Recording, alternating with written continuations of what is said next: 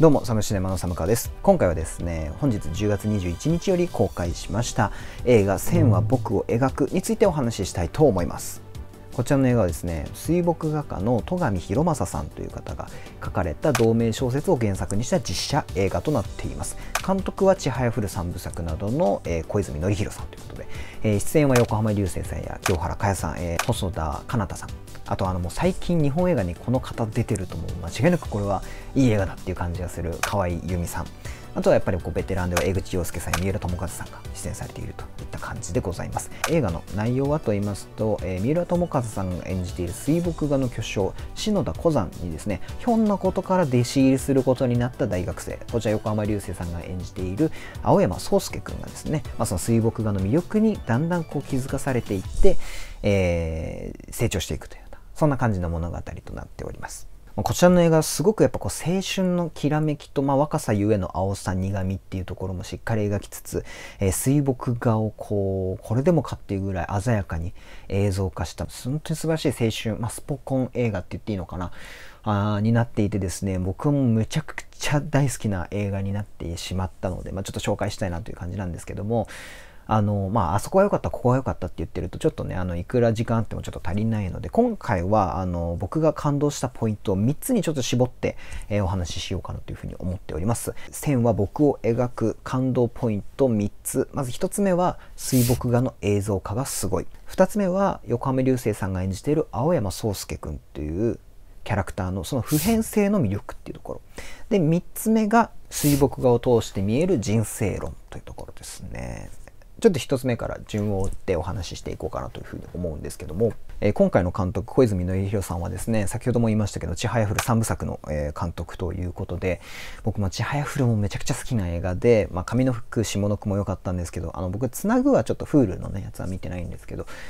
最終章の結びとかもちょっとこうどうかと思うぐらいの大傑作であのー、めちゃくちゃ大好きな映画なんですけどやっぱりその「ちはやふる」ってその競技かるたっていうものをこう見事にスポコン映画青春スポコン映画として描いたわけですけど、まあ、そんなあのちはやふる制作陣が今回扱うのは水墨画という、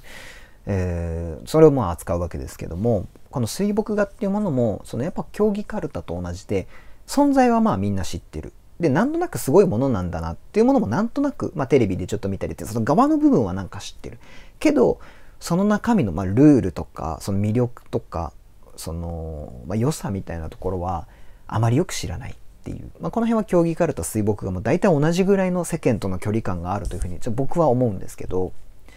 まあ、そういうちょっとこうあまりよくは知らないっていうものをここまで分かりやすくその魅力を分かりやすくそして映画として鮮やかに描いてしまうっていうその手腕。それはやっぱ今回もすごいな、このスタッフたちはってやっぱ改めて思いました。えー、序盤でその水墨画っていうのはっていうところで語られるところですけども、あのー、筆の中に異なる濃さの墨を入れて、それをいかにコントロールするかっていう、まあ、そこが水墨画の、まあ、ちょっと肝になるところだっていうふうに、まあ、結構序盤の方で、えー、語られるわけですけども、まず僕それすら知らなかったわけですから、もうそれ聞いて、ああ、なるほどって、まずなるわけですよね。でそれが一個頭に入ってるからやっぱこう筆をビャッと一本ビャッと入れるだけで濃淡が生まれてだからこう真っ白の紙に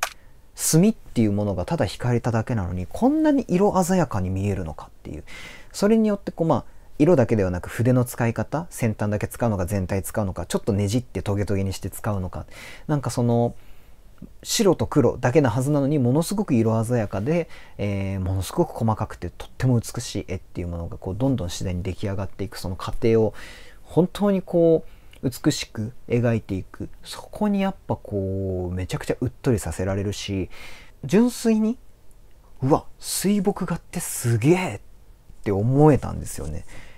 今回その水墨画ってものを扱ってる映画でこう見ている人が「わあ水墨画ってすごいんだ」って思えたこの時点でこの映画はもう成功というか勝ちですよね。であの僕その映画を見ることの根本的な喜びって何なんだろうってまあ時折考えるんですけどやっぱり僕にとって映画っていうもののその映画を見る喜び映画を見ていてやっぱこれいいなって思うことの本当に根本って何なのかっていうとやっぱ物や人が動くっていうのが映画っていうのはやっぱいいんだな運動こそが映画の良さ映画にしか描けない良さなんじゃないかなっていうふうには思うんですよ。まあその映画っていうのはその写真ではなく、まあ、動画がその動画の起源っていうものが全部その映画が始まりですから、まあその動いてなんぼっていうことだというふうに僕はやっぱ思うんですね。まあその辺で言うとやっぱりスピルバーグっていうのはその映画における運動をコントロールする本当に神様的巨匠やっぱそこはやっぱ改めて思うんですけどあのこの前そのスピルバーグ監督のウエストサイドストーリーを見た時にやっぱ改めて思いましたね。人が動いてカメラが動いてカラフルな衣装で歌って踊ってでその光が差し込んでっていうその運動だからもう視覚的喜びっていうものをここまで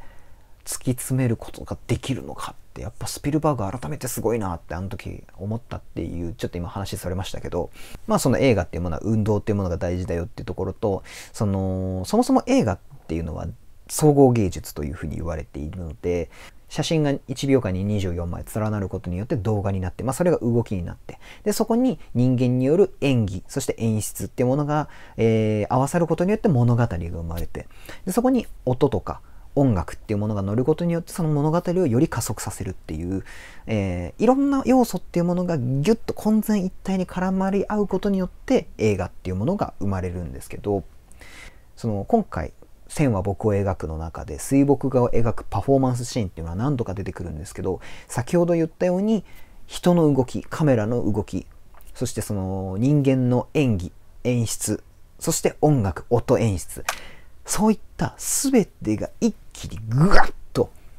あの、最高潮に高まることによって、映画としてその水墨画のパフォーマンスを描く。これはまさにそのミュージカル映画における歌唱だったりダンスシーン、アクション映画におけるアクションシーンのように、今回水墨画のパフォーマンスをとっているっていうところが、あ、映画化してるっていうその水墨画を描いた線を線は僕を描くという題材を映画化してるっていうふうにやっぱ一番思うところでもう僕はそこを見るだけでもやっぱ映画館で見る価値大いにある作品だなと思いますしそこにこそやっぱうっとりするし感動するというところでまずその水墨画の映像化っていうところそこがやっぱ素晴らしいなというふうに思いました。続いて2つ目ですね。あの、主人公、青山宗介というキャラクターの普遍的こその魅力っていうとこなんですけど、まあ、ちょっと何言ってんだって話だと思うんですけど、横浜流星さんが演じてその青山宗介というキャラクターはですね、まあ、過去に家族に不幸があったらしいというところが序盤からちょっと描かれてはいるんですけど、ちょっとそこの過去のトラウマとかっていうところ一旦抜きにすると、基本的にはまあその初対面の人とも難なくコミュニケーションは取れるし人当たりもすごくいいし、まあ、優しそう社会で生きていくには何の問題もなさそうな感じ人間的な欠落っていうものがあまりない人としてあの青山宗介というキャラクターは出てくるんですけどそれってちょっとこう映画的主人公としてはちょっと弱いかなっていうところも一瞬思うんですね。大体映画の主人公ってなんだろうチームものを描くんだったら最初はチームワークなんてっつってワンマンプレイしちゃうとかあのいつもなんか思い切った行動に出られなくてうじうじしちゃう人とかなんかこうここがこの人にとっての課題なんですみたいなものが大きく最初はあったりとかするっていうのがでなんかこの人もちょっと社会では生きづらそうだなっていう人が主人公だったりとかそれが成長していくからこそエモーショナルだったりとかって映画っていうのはね、えー、なるんですけどそういう意味ではこの青山宗介くんというのはですねちょっと映画的に弱いかもしれないと僕は最初思ったんです。なんですけども、まあその物語の中で宗介君が書いた水墨画を見て、あの、三浦友和さん演じるその小山先生は、繰り返し、うん、悪くはないって言うんですよ。この悪くはないっていう、それは物語の中では、あの、一応その表面上は、えー、宗介の書いた水墨画を指して言うんですけど、これは宗介という人間に対して言っているというふうにも取れる。っていうかまあまあそういう意味で言っていると思うんですけど、ま、いわゆる無難っていうことですね。で、世の中に現実にいる人間って大概そこを悩んでいる人って多いんじゃないかな。僕もそうなんですよ。とりあえず一定量のことはできる。大概のことは。で、まあそれなりに社会で生きていくこともそれなりにできる。大きな欠落とかを抱えることがあまりない。からこそちょっとあの人人としてどうかと思うけどセンスは半端ないよねって言われる人とかを見ると羨ましく思えたりとかするじゃないですか。僕もそのいわゆる無難みたいな普通みたいなところに収まっちゃってる自分っていうところにものすごくコンプレックスを持っているタイプの人間なので、あのー、今回の映画で宗介くんを見ていて ものすごく感情移入するんですよ。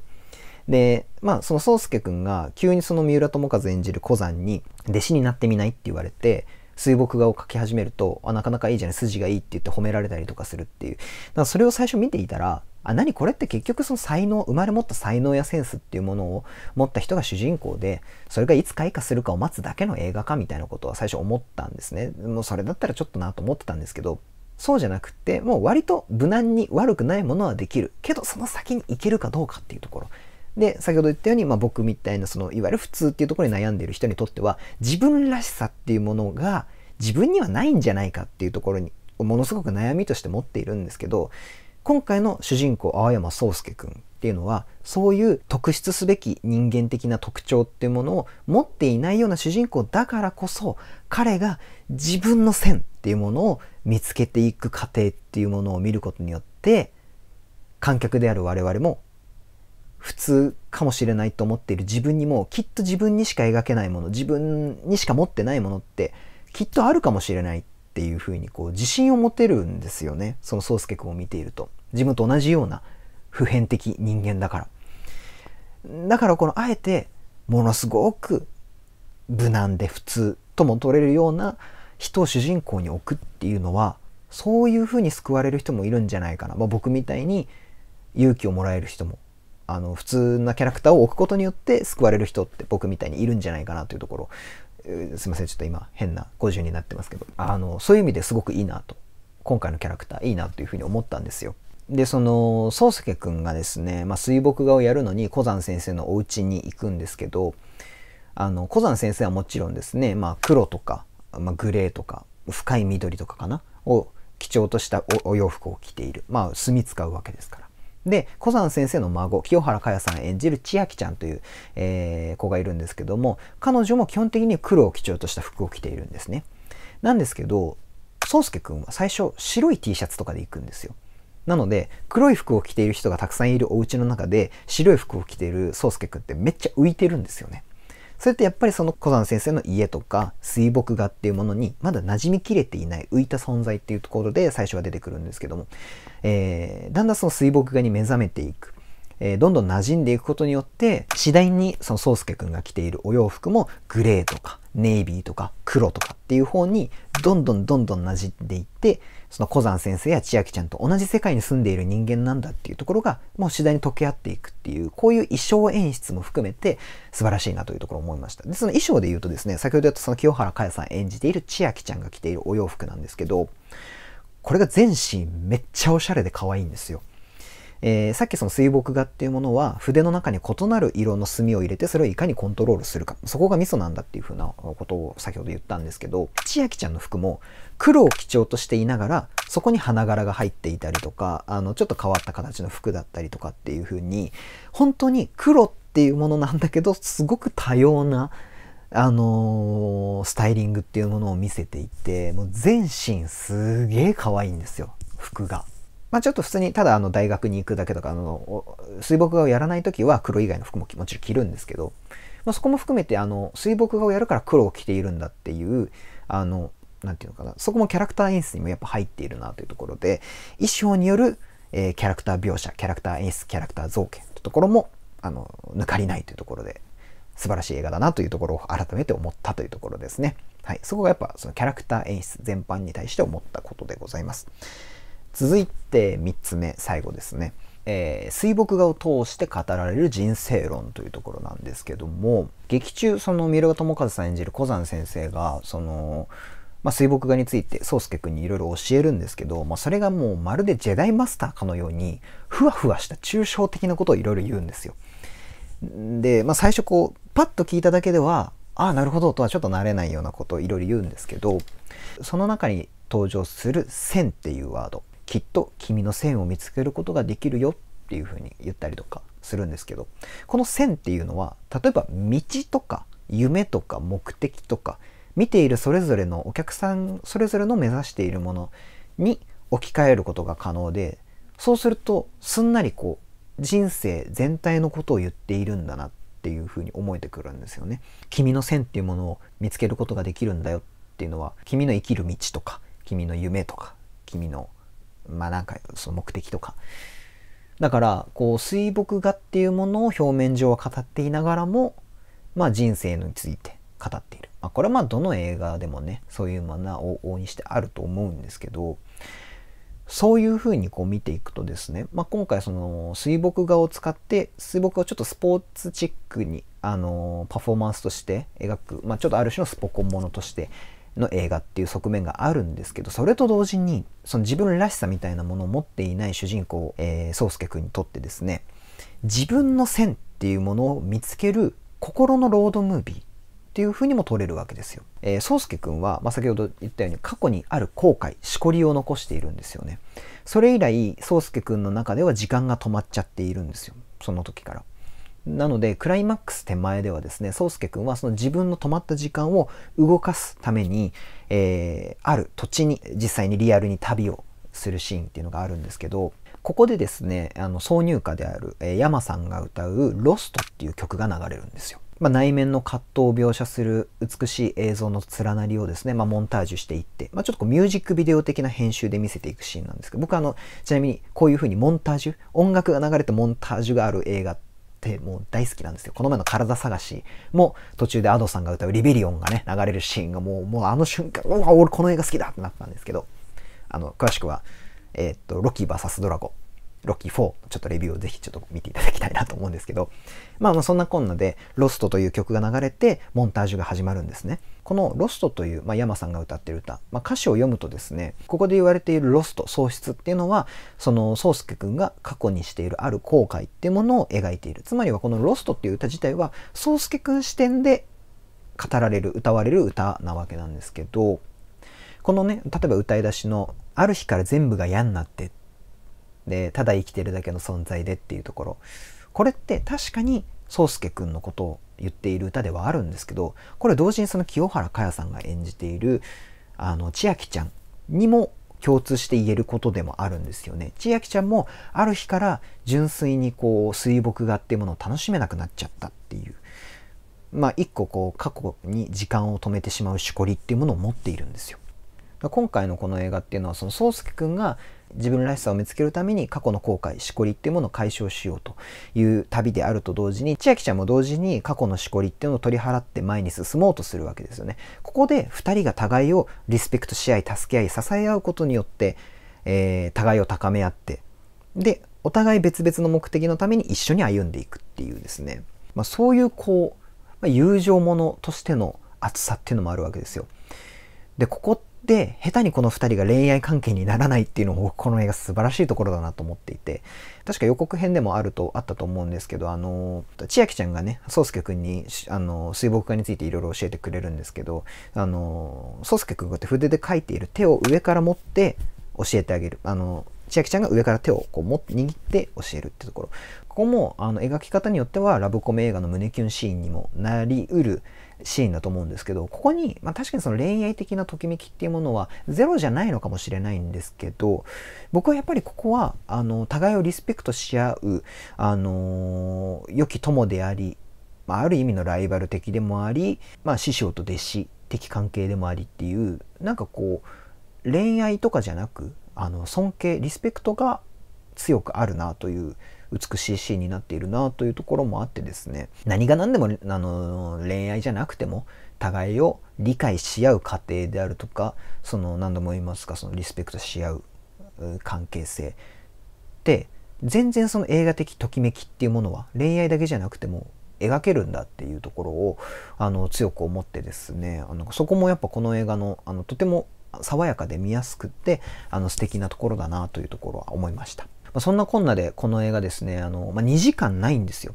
非常に短いタイトな映画なんです。それでいてものすごくテンポもいいです。あのリズムもあのとてもしなやかで美しい線を描いているようでしっかり力強くもあってあのとっても見やすくてですね例えばももっと下手な映画だったらここもう一つ説明台詞を付け足しちゃうなとか回想シーン入れるだろうなっていうところも一歩手前で引くちょっとスマートな演出もあの随所に聞いていてなんかそこもあの本当にあの素敵な映画だなと思うところが多々ありました。まあ、一つ挙げると前半ですね、あの、小山先生が、あの、宗介くんに筆を渡して、ちょっと書いてみなっていうところで、まあこう、見よう見まねで水墨画を描き始める。で、その姿を見た小山先生が、うん、やっぱり筆の持ち方も綺麗だっていうふうに言うんですね。筆の持ち方もって言うんですけど、筆以外の何の持ち方が綺麗だったかってセリフ上では出てこないんですよ。でも、見ていただければわかるんですけど、筆を持つよりも何シーンか前、初めてその小山先生と宗介くんがですね初めて会った日、えー、宗介くんがこうお弁当を食べるところを横でこう小山先生が見てるっていうショットがあるんですね。さりげないんですけどここ確実にお箸のお箸の持ち方を見てるっていう視線が映されてるんですよ。その後に、まあ、結構後ですけど、うん、やっぱりあの筆の持ち方も綺麗だって言うからあやっぱりあそこはお箸の持ち方見てたんだっていうふうに観客も自然と思い出すっていう。ここね、まあ、ざらに、うん、あの、その時にお箸の持ち方綺麗だねってその場で言うか、お箸の持ち方もそうだったし、筆の持ち方も綺麗だよねっていうか、回想シーン入れるとか、まあ、下手な映画作りだったらしそうなところをそれを一歩せず、で、それが別にちゃんと見てる人には伝わるわけですから、なんかね、そういう一歩こうなんだろうスマートな演出っていうところがやっぱ美しくて あの本当にいいなっていうところをですね、まあ、そそのそこだけじゃなくてねいろんなところにそういう細かいところがあの一歩こう行ききらないギリでちゃんと止めてるところがあのすごくあのそう観客はちゃんと見ているから分かってるよってところをですねあのちゃんと信頼してくれてるところがいいなというふうに思いました。そしてですねやっぱりこうダイナミックなこうパフォーマンスっていうものをブワーンと見せられてすごくスケールの大きなえー、ね、描いてることは別に世界の滅亡とかではないわけですけども、あの、心の旅というものとしてスケールが大変でかい、えー、映画を見て、大変な、もう、わあ、なんかすごいもの見たっていうところで、エンディング、 yamaさんが歌う、くびったけという曲が流れるんですけども、これはあの、作ったのは Vaundyさんですね。いや、この、カラダ探しではですね、 Adoさんが、あの、主題歌と挿入歌、この線は僕描くだと yamaさんが主題歌と挿入歌。でその主題歌の、えー、曲を作ってるのは Vaundyさんなわけじゃないですか。で Vaundyさんは Vaundyさんっておかしいなんか言いにくいです Vaundyはチェンソーマンの第1話のエンディングを歌ってたでしょ。みんな忙しいなってちょっと思ったりとかもしつつ、まあ僕も皆さん大好きなんで、あの、嬉しい限りなんですけど、もうね、このエンディング、もう聴くだにね、このエンディングのこの首丈って曲ね、聴くだに、あ、 Vaundy が作った曲だってね、一瞬でわかる感じとかもすごくいいなと思うんですけど、まあその、非常にポップで明るくて軽い歌なんですよね。ものすごくスケールのでかい、ドーンとしたものを見て、と思ったらエンディングで軽めの曲がパーンって流れ始める。超かっこいい軽めの曲がパーンって流れ始める。これによって、いい意味でこの映画全体が軽くなるんですよ。これすごくいい意味でですね。あの、ポップコーンムービーとして非常に優秀だということですね。あの、もちろん、例えば、なんだろう、万引き家族とかみたいな、ああいう、こう、ずしーんときて、うわー、すっごい映画見たわっていうのも、もちろん大事です。そういう映画も大事ですし、そういう映画も大好きなんですけど、僕はやっぱりその、映画を見終わった後、劇場出るときに、こう、軽い気持ちで出られて、例えば友達と見に行った場合は、ちょっとこの後ご飯でも食べようか、なんて言って、まあ、映画とは関係ない話してもいい。なんかその後ちょっと軽くね、別の用事も入れられるぐらい。あの、午前中に見て午後仕事行くことができるぐらい。そういういい意味での軽さを持った映画っていうものも僕は大好きなので、ああ、なんだ、この映画すごくこう、僕としてはやっぱり主人公にもめちゃくちゃ感情移入しているわけですから、まあ、人生において大事なお土産も持って帰れるし、なおかつポップコーンムービーとしても完璧な軽さも持っているという意味で、ちょうどいいっていう、もうそういう意味ですごいいいなと思いました。あの、ちはやふる結びとかは、もう僕はもう、なんか生涯ベスト級にもうバコーンって食らったんですよ。だから、ちはやふるがめっちゃ好きな人、で、あれ級のものを期待していくと、あれ？割と軽、薄味でしたかっていうふうに思われる方もいるかもしれないんですが、この映画には必要なカロリーとしてすごくちょうどいいもうものすごくちょうどいい映画として僕はこれは大好きな作品でしたね。本当にあのわいい映画見た。よし帰ろう。明日も頑張ろうとか。ちょっとご飯食べに行こう。みたいなことを、まあ、思えるというところですね。そういう意味であのもう非常に大好きな映画となりました「線は僕を描く」えー、現在劇場で公開しておりますのでですね、ぜひ皆様今週何見に行こうかなってなったら、ぜひ見に行ってください。あとなんか言い残したことな、いいかな？あちなみにエンドロールの Vaundyさんが作った、えー、 yamaさんが歌うくびったけ。ミュージックビデオにはですね映画とは風貌がまるっきり変わった横浜流星さんが出ていて、まあ、これもすごくあのやさぐれた横浜流星さんもめっちゃかっこよくて好きなんでね。あのぜひ皆さんも見てください。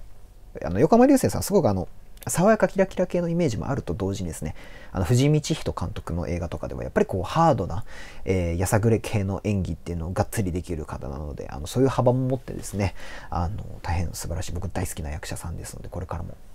彼の出演作はですねリアルタイムで追っていきたいなって改めて思いました。あと清原果耶さんもやっぱ大好きです。